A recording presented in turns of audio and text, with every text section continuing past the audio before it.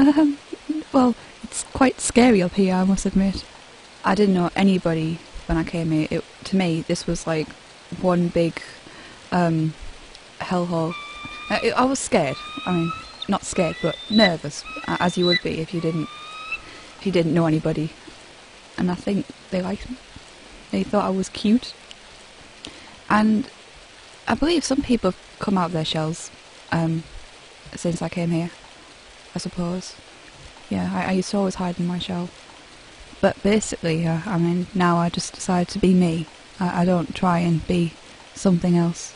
Uh, in comparison to me, there's a lot of weird stereotypes going on in certain parts. I've seen um, something with blue hair walking past me, and it, it kind of scared me a little bit. um, yeah, they're cool. Awesome.